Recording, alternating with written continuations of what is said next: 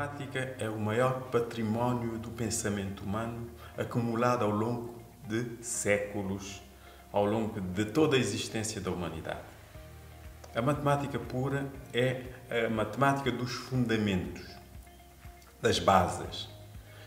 Ela é essencial para a matemática aplicada e para as aplicações da matemática, aplicações científicas e tecnológicas. Também era essencial para o ensino da matemática, ensino básico, ensino secundário, ensino superior. Venha fazer o mestrado em matemática pura conosco para que possamos aumentar a qualidade da matemática, das suas aplicações e do seu ensino em Angola, Moçambique, Cabo Verde, Guiné-Bissau e São Tomé e Príncipe. Venha fazer o nosso mestrado em matemática pura.